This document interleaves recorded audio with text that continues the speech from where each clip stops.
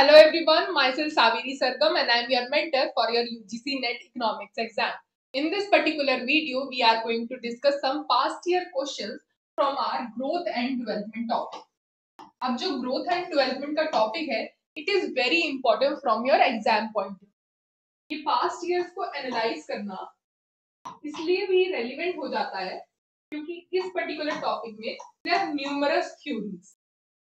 हर theory को note down करना is very difficult but past years हमें एक राइट पाथ पर सेट कर देंगे कि किस किस तरीके से, किस किस थ्योरीज में से इंपॉर्टेंट क्वेश्चंस आते हैं। And we are going to discuss all the past years question उससे हम एनालाइज कर सकते हैं और भी ग्रोथ थ्योरीज को which are on the similar line तो let us start with our video start करने से पहले if you are visiting our channel for the first time do subscribe our YouTube channel ये जो सेशंस हैं हम आपकी यूजीसी नेट इकोनॉमिक्स के लिए तब तक करते रहेंगे जब तक आपके एग्ज़ाम्स नहीं हो जाते में so you would be very you would be benefited a lot if you will subscribe to our youtube channel also you can join our telegram we conduct daily quizzes there you can post your doubts there और भी UGC net से related कोई भी information होती है so you will get the instant notification on our telegram group you can find the links of this telegram group in the description box also i have a great announcement for you guys that we have come up with our own course for UGC NET Economics, paper 1 and paper 2 and you could know more about these courses from our website or you could contact us on double nine double nine four double six double two five. You will find the links in the description box. You can check out our website anujindal.in for whole information about this course. So, let us start with our question number one. मैं आपको सारी की सारी जितनी भी growth theories है, वो explain करने की यहाँ पे कोशिश करूँगी आपकी तरफ़ से पार्टिसिपेशन ये होगा कि आप सारे जितने यहाँ पे क्वेश्चन हम यहाँ पे अटेम्प्ट कर रहे हैं, जब आपको कॉन्सेप्ट समझ में आ जाए तो do let me know in the chat box what you think is the correct answer तो let start with our first question Which of the following models explain the paradox of pertaining to rural-urban migration in the context of rising urban employment? So, first part is Solo model, next is Lewis model, C part is Vakil Brahmanan model, and D part is Todaro model. So, let us discuss each and every growth theory mentioned in this part and you can let me know after that in the chat box what do you think the correct answer. So, let us start with the solo model.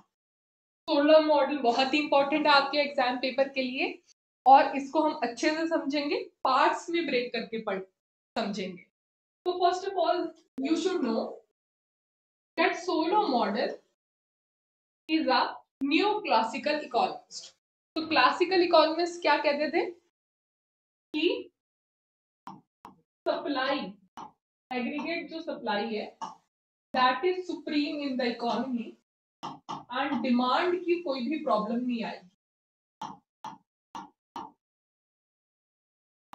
तो ये हमारे classical economist कहते थे कि demand deficient economy कोई situation ही नहीं होती। The deficiency of demand can never be a problem in any economy supply is the supreme markets are the supreme markets अपना काम खुद कर सकती हैं और उनको कोई भी गवर्नमेंट इंटरवेंशन की ज़रूरत नहीं है। तो मार्केट्स में there is no need for government intervention this is what classical model use to say उसी थ्योरी पे बिल्ड है न्यू क्लासिकल इकोनॉमिस्ट के कुछ कुछ अदर्शन जहाँ दे आर सेइंग कि मार्केट इकोनॉमी है और there is a focus on the aggregate supply all right next type पे बढ़ते हैं. नेक्स्ट टाइप कहता है? The supply are constant proportion of income जो जो सेविंग्स हैं they are constant proportion your income इसका मतलब क्या है? जो टोटल सेविंग होगी capital S you can note all these down in your notes तो कैपिटल एस है that is a proportion small S into Y जो सेविंग्स है they are a proportion of your total income तो हम यहाँ पे आ गए अभी तक हमें सब कुछ क्लियर है। अगर क्लियर नहीं है तो you can let me know in the chat box और मैं आपकी जो प्रॉब्लम है, वहीं पे सॉल्व कर दूँगी। तो let us move on let me know in the chat box ठीक है? नेक्स्ट पॉइंट पे चलते हैं। Capital by labour ratio is flexible इसका मतलब क्या है? जो आपका कैपिटल है और जो लेबर है, वो आपस में सब्सटीट्यूट हो सकते हैं। ऐसा हो सकता है कि आप एक फैक्ट्री लगाने की जगह सौ तो और लेबर को एम्प्लॉय कर दें और आपका जो काम है, वो फिर से, फिर भी चलता रहे। ऐसा कोई fixed capital by labour ratio नहीं है। There is no fixed capital by labour ratio where the work could be only done जब आप फिक्स्ड प्रोपोर्शन में ही किसी चीज़ को कर रहे हैं। तो capital by labour is flexible आप आपस में सब्सटीट्यूट कर सकते हैं कैपिटल को और लेबर को। तो I hope you are with me till this let us move on to the next part saving plan saving and plan investments are equal जितना आप सेव करते हो, उतना आप इन्वेस्ट भी करते हो, लेकिन पीरियड के एंड प्लान्ड सेविंग और प्लान्ड इन्वेस्टमेंट बराबर है यहाँ पे next is labour force is exogenous labour force का जो डिटर्मिनेशन हो रहा है that is from the population growth और population growth is not a part of your Solow model internalise नहीं किया है एक्सोजिनस है अभी भी population growth also technology is also exogenous वो बाहर से एक्सटर्नल फैक्टर है। टेक्नोलॉजी का ग्रो होना आपके मॉडल का पार्ट नहीं। अभी तक हम सिर्फ़ इतना ही समझ ठीक है? नेक्स्ट है, आपको क्योंकि ये कह दिया the plan saving and plan investments are equal तो जो हमें अभी पढ़ा हमने ये relation S Y that should be equal to i. Okay. और आप इन्वेस्ट क्या करते हैं? What do you invest in? You invest in capital. आप इस इन्वेस्टमेंट का कैपिटल कुछ खरीदते हैं। ठीक है? तो change in capital period change कितना हुआ? कितना आपने खरीदा? कितनी बिल्डिंग्स नहीं नई लगाई? वो चेंज इन कैपिटल बताता है and that is your investment change in your capital is your investment and ये हमें यहाँ से पता चल गया। और finally we will get this relation where your savings your proportional savings are equal to the N is your labour growth A is your capital growth वो उतने के बराबर आपका हो गया, एक रिलेशन आ गया हमारे। यही सोलो मॉडल की बेसिक बात है, जो हमें अल्टीमेटली समझनी है। And we are going to explain all this from this graph इस ग्राफ से भी we are going to get back to this particular relation अब यहाँ पे ये जो रेड ग्राफ है that is our savings relationship okay this black graph is the total production function अब हमें पता है savings are a part of your income they are a part of our production relationship i hope यहाँ तक सब कुछ clear है you want to ask something you can uh, ping me on the chat box वहाँ पे i can solve your doubts okay let us move तो ये जो सेविंग्स है, इसीलिए ये जो रेट है, ये कम है because this these saving are a proportion of this total production function now what we are going to do is, we are going to say ये जो इक्विलिब्रियम आ रहा है this is a stable equilibrium तो ये equilibrium एक stable equilibrium है हमारी इकोनॉमी ओके okay. इसका मतलब है वी आर सेइंग अगर हमारा कैपिटल बाय लेबर रेशियो जाओ हमारा एक्स एक्सिस पे we are saying if our capital by labour ratio is this much where savings, this red graph is above this particular graph of investment अगर savings ज़्यादा हो रही हैं आपके, जितना आपको कैपिटल चाहिए, उससे क्या होगा? यू विल इन्वेस्ट मोर अब आपके पास सेविंग्स की अवेलेबिलिटी है आप इन्वेस्ट करना शुरू करेंगे और। तो आप इस पॉइंट पे पहुँच जाएँगे। मूव ऑन करके। And this would be our capital by labor ratio, जहाँ पे आपको स्टेडी स्टेट मिलता है which is a stable equilibrium तो यहाँ से हमारा कंक्लूजन क्या हुआ? The increase in the capital would not lead to an increase in GDP जो कैपिटल है, उसके इंक्रीज से, जो जीडीपी है, उसमें इंक्रीज नहीं होगा। बाय कहीं से भी शुरू करें। If we start from here here anywhere on this curve will reach to this particular level of capital only तो जो अगर आपको इंक्रीज करना है जीडीपी को there should be a shift in this capital by labour ratio capital building ज़्यादा होनी चाहिए there should be more investment than a given rate of steady state ठीक है? तो उसको सोलो कहता है कि आप कैपिटल को इंक्रीज कर करके कभी भी जीडीपी को इंक्रीज नहीं कर सकते. There has to be something outside your factor for example technological progress which will ensure a long term growth rate. So, this is your solo model. Let us move on to the next theory, which is Lewis model. अब Lewis model is actually based on migration. Migration पे based है Lewis model actually Louis से कि जो labour है in any developing economy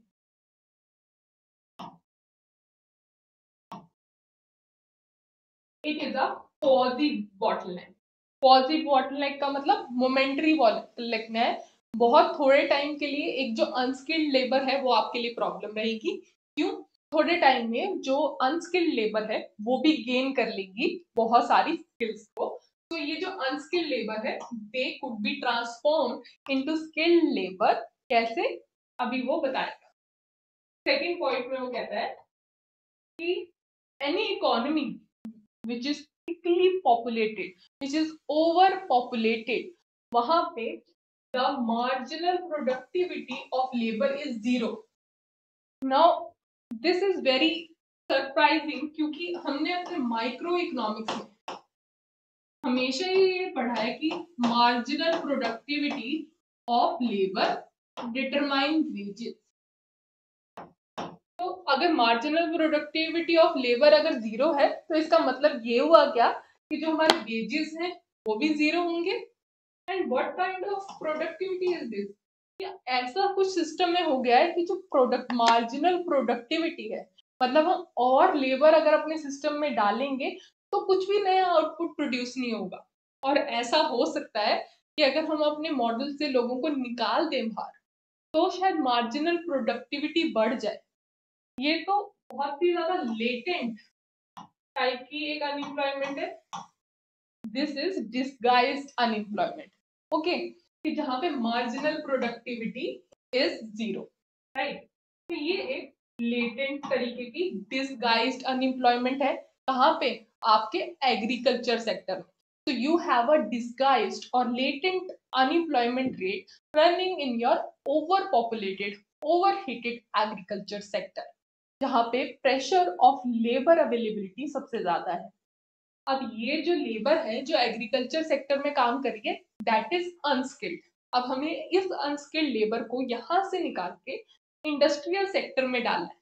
अब जब हम इंडस्ट्रियल सेक्टर में लेके जाएँगे then this particular employment this particular labour would be transformed into skilled labour वो हेल्प करेगी प्रॉफिट बिल्डिंग में यही बात हो रही है यहाँ पे कि कैसे आप एक अनस्किल्ड मार्केट को स्किल डेवलपमेंट करें उसका and you generate profits.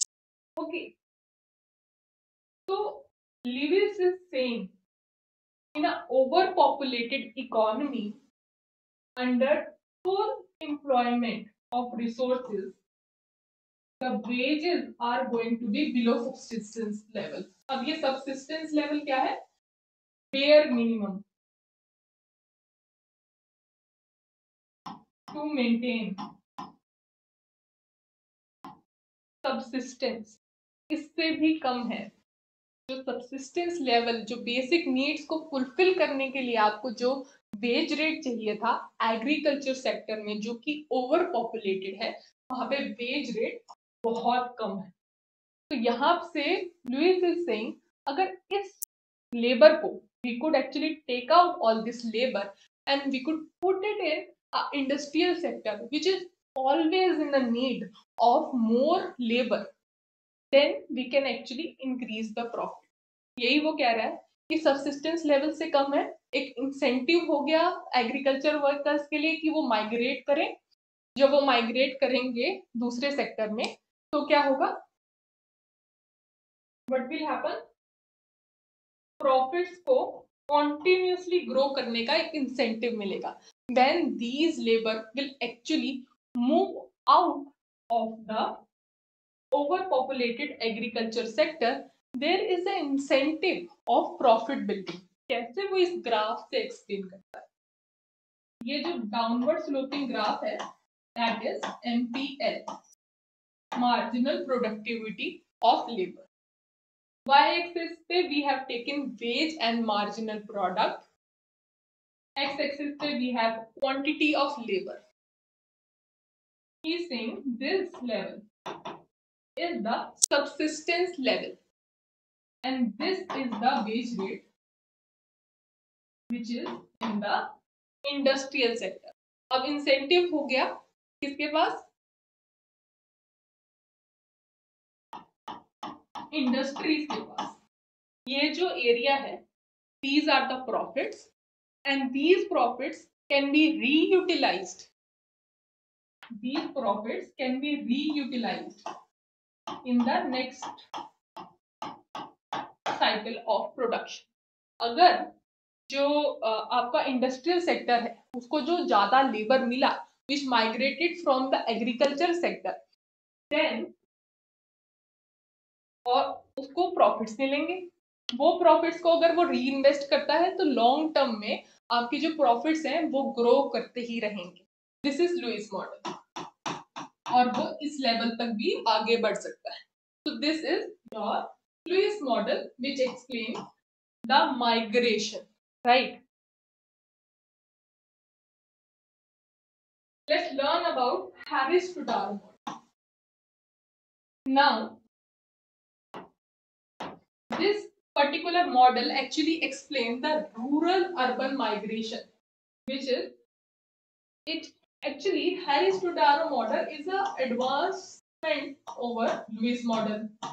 उसने लुइस मॉडल को लिया और उसके अंदर कुछ कुछ प्रॉब्लम्स देखी इन दोनों इकोनॉमिस्ट ने। अब इन दो, ये दोनों economist they will actually solve the problems of the Lewis model they are saying कि एग्रीकल्चर जो वर्कर है, उसको क्या पता अर्बन एरिया में क्या वेज रेट होगा, लेकिन उसकी कोई एक्सपेक्टेशन है।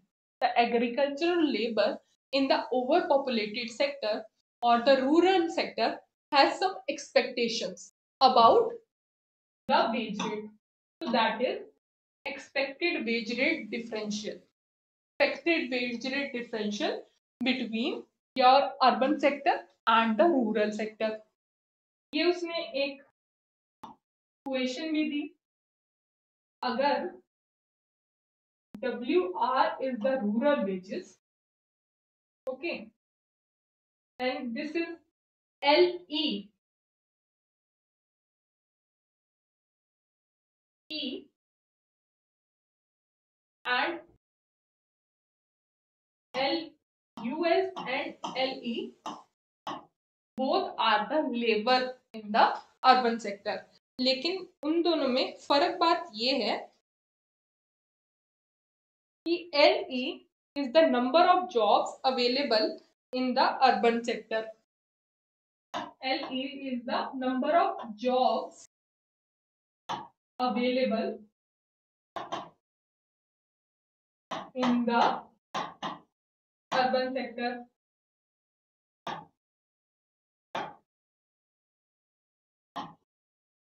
And LUS is the urban sector's total job seekers. ठीक है ये टोटल जॉब सीकर्स हो गए एल यू एस ठीक है? अब यहाँ पे अगर हम देखें इस रिलेशनशिप के हिसाब से तो जो माइग्रेट करेंगे, अगर रूरल जो पॉपुलेशन है they actually migrate to the urban side they will actually get more employment क्योंकि यहाँ पे हम क्या कह रहे हैं? L E by L U S से हमें ये पता चला कि जो अवेलेबल जॉब्स हैं, वो ज़्यादा है।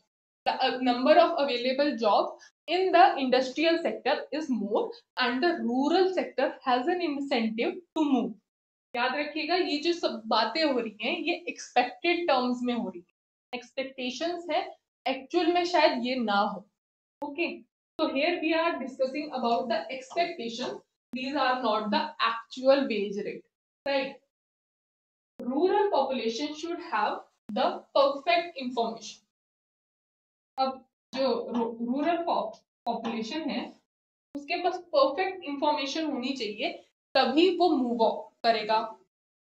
तो कंक्लूजन में हमें क्या मिला? एक्चुअली हैरिस टोडारो ही सेइंग कि हमें इंडस्ट्रियल सेक्टर में नहीं इन्वेस्ट करना चाहिए।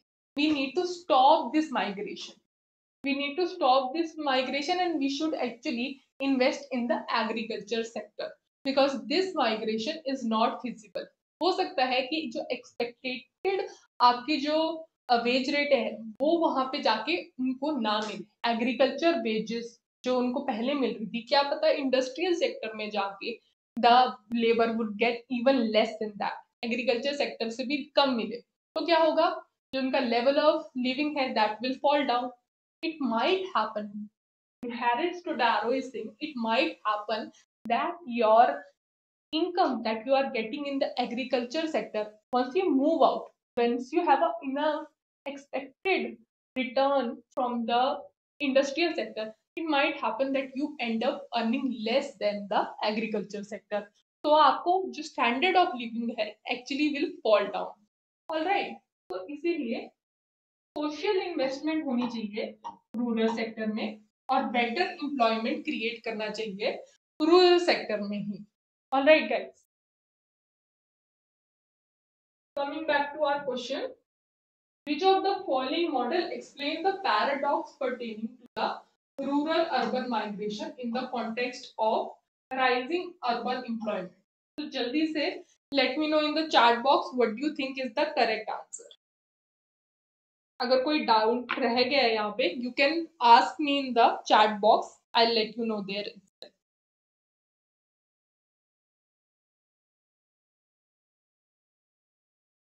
जब आप यहाँ पे आंसर करते हैं तो आपकी खुद की तैयारी हो रही थी बिकॉज़ ये एक टेम्परामेंट डेवलपमेंट की बात है। एग्ज़ाम में आके एक टेम्परामेंट डेवलप करनी होती है क्योंकि आज तक आप सिर्फ़ सब्जेक्टिव एग्ज़ाम्स की तैयारी कर रहे थे। अभी ऑब्जेक्टिव एग्ज़ाम है। उसके लिए आपको क्वेश्चन सॉल्व करके देखने ही होंगे। तो do let me know in the chat box what do think is the correct answer अगर यहाँ तक कोई डाउट है you can let me know in the chat box I can solve your doubts there so take a moment here and let me know in the chat box what do think is the correct answer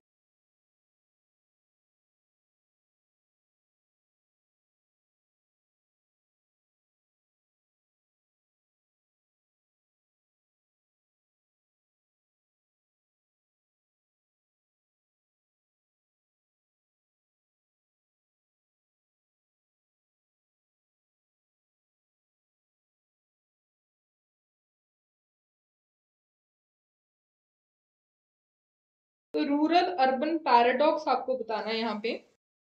That is the important part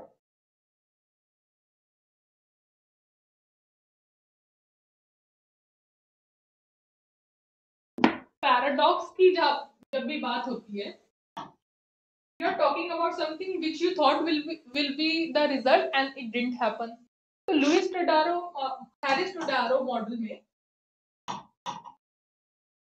जब आपने पढ़ा कि migrate करते हैं agriculture labours in the hope of getting more and more wages but they end of earning less this is a paradox और right so your correct answer is I hope you have been answering in the chat box is part D Todaro model so this is your correct answer लेकिन अब आपको पता है टुडारो model तक पहुँचने तक आपको सोलो मॉडल भी बताना चाहिए क्विज मॉडल भी पढ़ता होना चाहिए।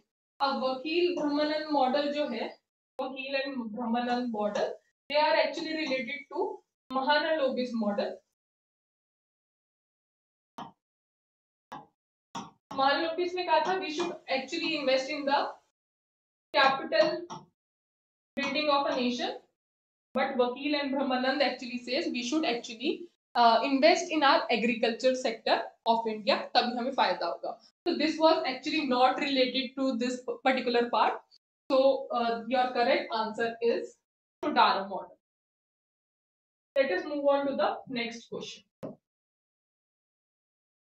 growth in the software industry in India can be best explained by Porter's approach Ricardo's approach Vernon approach और बेला बेसा बेलेसा अप्रोच अब ये जो पर्टिकुलर क्वेश्चन है ये एक फैक्चुअल क्वेश्चन है this is a factual question और ये जो क्वेश्चन उठाया गया है they have actually pick this up from multiple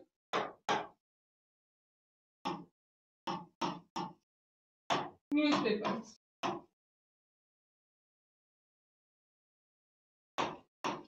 newspapers ने एक डिस्कशन जो होती है इकोनॉमिक्स के बीच में, इन्होंने बहुत कवर किया था कि इंडिया की जो सॉफ्टवेयर इंडस्ट्री की ग्रोथ है which you can see post 1991 वो एक स्पेसिफिक अप्रोच को फॉलो करती है इनमें से।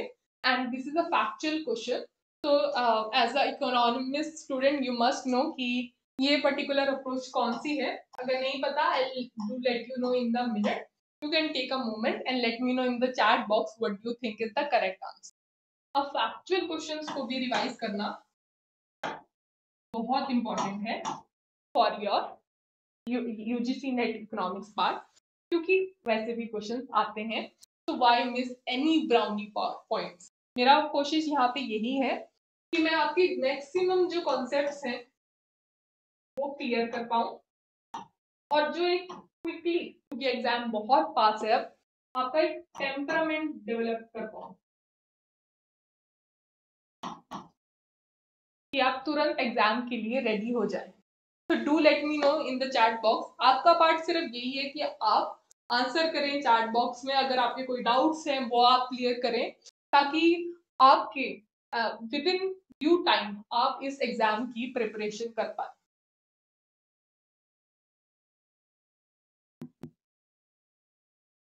राइट है correct answer correct answer is Porter's approach Porter's approach को एक बार देख लेते हैं। पॉटर्स अप्रोच ये कहती है कि किसी भी इंडस्ट्री को डेवलप करने के लिए for example your software industry होगी you need to gauge you thing for example intensity of rivalry आप गेज करनी threat of new entrant get कर गेज करना है. Threat of substitute bargaining power of buyers and bargaining power of the supplier all right तो these are simple economic terms में आपको पता है कि कितने मेरी क्या पावर है। मैं मोनोपली हूँ और I am a perfect competition okay is there a threat to new entrant वो भी आपको पता चल गया if I am in a setup of perfect competition और नॉट थ्रेट ऑफ़ सब्सटीट्यूट्स तो नहीं है मुझे। तो ये जो सारी बातें हैं दे विल एक्चुअली गेज कि मेरी इंडस्ट्री कितनी डेवलप करेगी। Okay guys let us move on to the next question immersiorizing growth is given by Amartya Sen, Calder, Paul Krugman और जगदीश भगवती अब ये भी एक फैक्चुअल क्वेश्चन है बट ये बहुत इंपॉर्टेंट है। चाहे ये आपको इंटरनेशनल इकोनॉमिक्स में आए या ये आपको ग्रोथ पार्ट में से आए। मैच द फॉलोइंग में भी ये पूछ लिया जाता है आपसे। और वैसे भी, इस तरीके से भी डायरेक्ट स्टेटमेंट बेस्ड क्वेश्चंस भी आ जाता है। Immiserizing growth who gave this particular concept concept को डिस्कस कर लेते हैं। Actually in L D C least developing nations under developing nation developing nations emerging nations जो भी बुलाइए आप इनको, उसमें if there is growth then it actually might lead to deteriorating terms of trade. जो आपकी टर्म्स ऑफ़ ट्रेड हैं, वो एक्चुअली डिटेरिएट कर सकती हैं. टर्म्स ऑफ़ ट्रेड का मतलब price of export by price of imports कैसे? With the growth you will produce more आप एक इमर्जिंग नेशन है तो मोस्ट प्रोबेबली जो आपके एक्सपोर्ट्स हैं they are primary sector imports तो उनकी प्रोडक्शन बढ़ जाएगी अगर ग्रोथ से what will happen with the increased production your prices of exports will come down because you would have a abundance of every single primary good. Okay, तो इससे क्या हुआ कि आपकी जो टर्म्स ऑफ़ ट्रेड है they will actually go down अब volume तो बहुत ज़्यादा सप्लाई कर रहे हैं वर्ल्ड को बट उसकी जो वैल्यू है, वो डिक्रीज कर जाएगी। The value of your export will actually decrease now I hope you have been answering in the chat box and the correct answer is Jagdish Bhagwati T is your correct answer let is move on to the next question financial dualism theory was developed by which of the following? A part says B. Higgins, B part says H. Mint, C part says W. A. Lewis. This is the same uh, uh, Lewis which we just dis discussed. Lewis model set. And D part is R. Nerves. So let me know in the chat box what you think is the correct answer. You can take a moment here. हम इस economics को अभी discuss करेंगे जिसने financial dualism को develop किया है and we are also going to discuss the term financial dualism so let me know in the chat box what do you think is the correct answer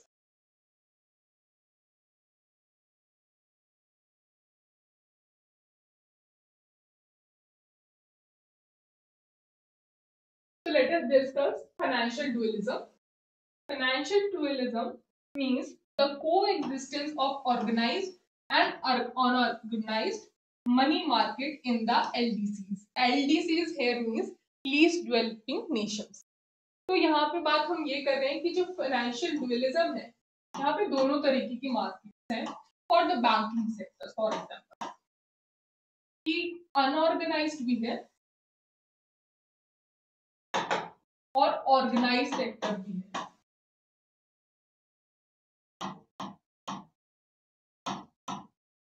ठीक है दोनों ही sectors हैं यहाँ पे organise भी अनऑर्गेनाइज भी. Both the sectors are working कैसे work कर सकते हैं?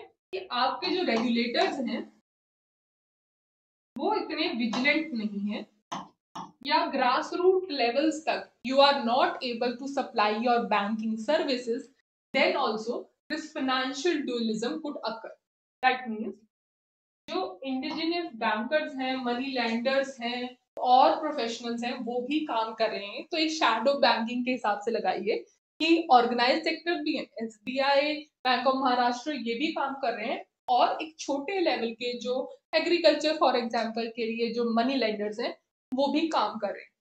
तो this particular concept of financial dualism was actually given by professor Myint So now I suppose that you know the correct answer. You have been answering in the chat box. Let's see what is the correct answer. So the correct answer is B, H mint. This is a five question series and we have been we have discussed four questions so far. Video के end में do let me know कि आपके total marks कितने आए out of five alright guys so let us move on to the question number five Who among the following is not associated with endogenous growth theory? Endogenous growth theory से कौन सा part इसमें से related नहीं है? मैंने आपको question one में भी ऐसी बात बताई थी एंडोजीनस ग्रोथ थ्योरीज पे। अगर आपको वहाँ पे समझ आया था then you would be able to answer this particular question also हम ये बात कर लेते हैं कि एंडोजीनस ग्रोथ होती क्या? What is endogenous growth theory तो endogenous growth is generated from within the system as a direct result of the internal process. मतलब आपके जो सिस्टम में ही अंदर से ही कोई ग्रोथ हो रही है और उसी से आपका जो सिस्टम है वो डेवलप कर रहा है। मतलब कोई एक्सटर्नल फैक्टर फॉर एग्जांपल अगर मेरे थ्योरी में technology is an external factor तो वो हेल्प नहीं करेगा मुझे ग्रो करने में। अंदर से ही कुछ होगा। There would be something from within which will actually lead the development okay they also argue this theory argues that the improvement in the productivity can be tired tied directly to faster innovation and more investment in the human capital मुझे, मैं human हूँ और मुझे ही capital समझा जाए। For example मेरी skill development की जाए मुझे अच्छी एजुकेशन दी जाए, मुझे हर तरीके के जो रिसोर्सेज हैं, उनको बताया जाए and we I have information to work as much as a capital. Okay. मैं एक कंप्यूटर का काम कर पाऊँ for example for that I need good education वैसे ही ये लोग इन्वेस्ट करने को बोलते हैं in the human capital I hope this part is clear first question में हमने ऐसी एक ग्रोथ थ्योरी डिस्कस की थी विच इज़ नॉट एसोसिएटेड ध्यान रखना, ये पास्ट ईयर से से ही उठाया हुआ क्वेश्चन है। बहुत ट्रिकी हो जाता है। जब हम ये नॉट मिस कर देते हैं। एग्ज़ाम भी अब कंप्यूटर बेस्ड हो गया है। It is very easy To miss a word there ध्यान से करना be mindful when you are reading the questions and then only you would be able to get the right answer and I hope you have been answering in the chat box. The correct answer is Robertson. Exogenous model technology बाहर से impact कर रही okay i hope this part is clear and i hope that you enjoyed this particular lesson on growth and development thank you and have a very nice day do let me know in the chat box कि आपकी पांच में से कितने marks आए thank you and all the best